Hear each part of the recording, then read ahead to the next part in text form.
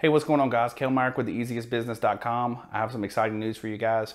I just talked to my media company like yesterday.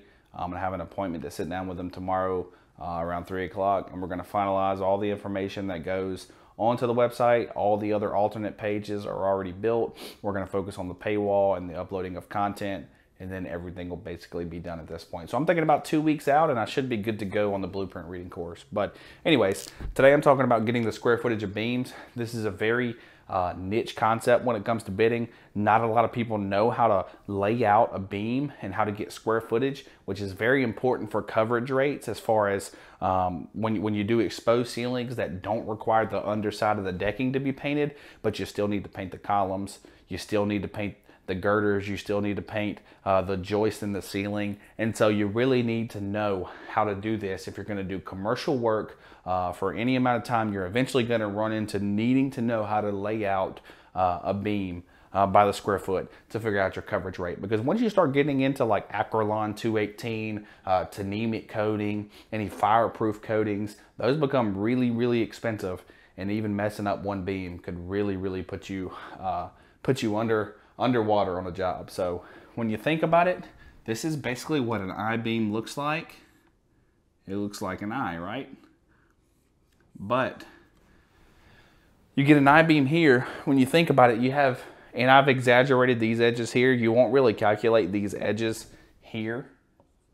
Um, you know, when you when you go to calculate the square footage, because these are going to be really minuscule. I mean, you could take leftover uh, paint on your roller and kind of get the edges of, of the I-beam once you've painted everything else. But so we're gonna focus mainly on every other surface on the I-beam. And forgive me for this awful drawing.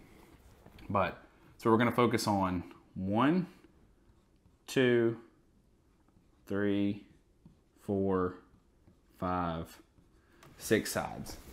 And just for simplicity's sake, we're gonna say this is 100 feet long this is a this is how the beam's gonna run. We're gonna say, you know, whatever. It's a hundred feet long, just for simplicity, simple math.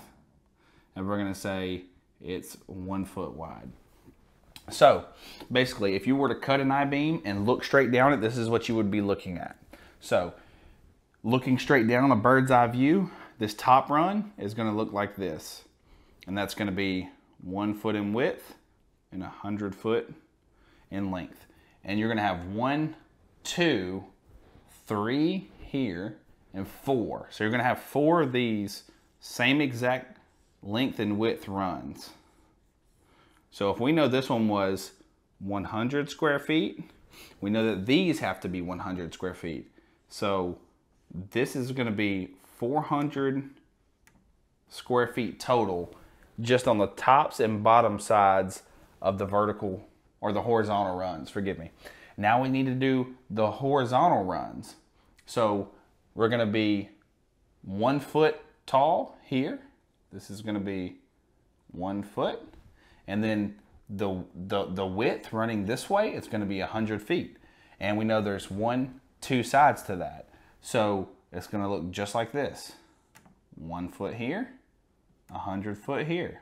That makes 100 square feet and there's two of them. So if there's two of them at 100 square feet, what does that mean?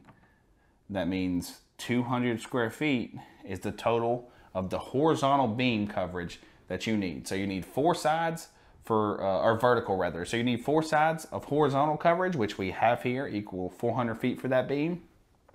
And then uh, the, the other coverage on uh, the vertical is gonna be each side because you only have two sides uh, to that vertical run. So that's 100, 100, 200. So your total is 600 square feet on an I-beam that's 100 feet long and a foot at all the other dimensions. So this would also have to be one foot here, one foot here, etc., etc. This looks really confusing, so I hope you didn't fast forward that. But that's basically the simple breakdown on how to get the square footage of an I-beam. So, you know, that could be very, you know, confusing if you don't know how to do it. But once you break it down and you just look at the I-beam how you would actually look at it in real life if I'm looking under it. I know I need the length and the width of this run here to get that bottom square footage. Then I can take that, multiply it by four. Then I have all those faces.